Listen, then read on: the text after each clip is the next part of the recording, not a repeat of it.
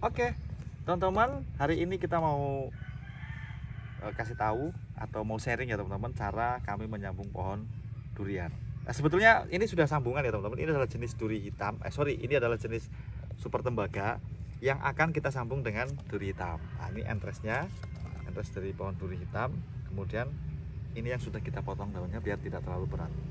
Sebelumnya kita harus potong dulu dia punya batang teman-teman. Kira-kira seperti ini ya karena kita menggunakan metode sambung pucuk sehingga kita harus potong bagian pucuknya.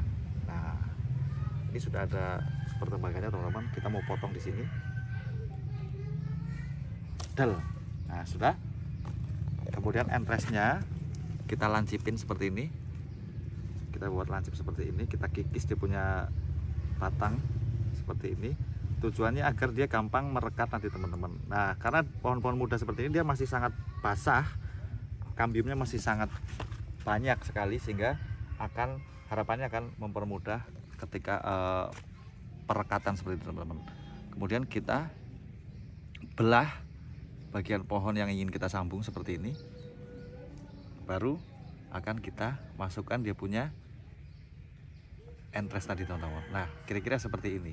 Nah untuk memperkuat dia punya sambungan maka kita harus ikat teman-teman. Nah kita kebetulan sudah siapkan tali plastik seperti ini teman-teman. Ini tali plastik biasa yang kita tarik begitu sampai kecil.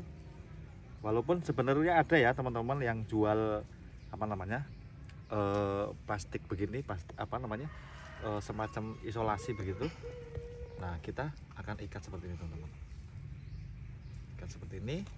Selain untuk membantu perekatan ini juga bertujuan menutup ah, sela-sela pohon ini, sela-sela sambungan dari air agar supaya dia tidak berjamur teman-teman.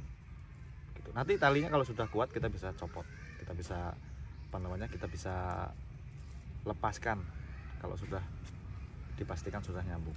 Nah, jadi satu pohon ini nantinya akan ada dua jenis, yaitu jenis super tembaga di bagian bawah dan bagian atas ada duri hitam atau oci. Kira-kira seperti itu. Nanti akan kita update perkembangannya. Nah ini juga teman-teman bisa praktekin di rumah ya. Nanti teman-teman boleh praktekin di rumah. Seperti yang saya lakukan ini teman-teman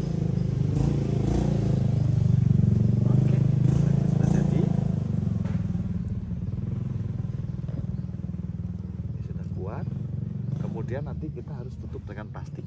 Nah, kita masih ada punya satu entres lagi. Nanti teman-teman akan saya ajak untuk nyambung lagi. Ini terlebih dahulu ini kita buang dulu daunnya seperti ini teman-teman karena e, terlalu berat nanti dikhawatirkan bisa malehoy. Nah ini ini satu pohon sudah jadi ya teman-teman sambungan satu pohon antara pohon super tembaga dan di atas kita sambung dengan pohon atau entres durian super tembaga. Seperti apa hasilnya nanti kita pantau terus teman-teman. Jangan lupa subscribe. Gitu teman-teman. Mantap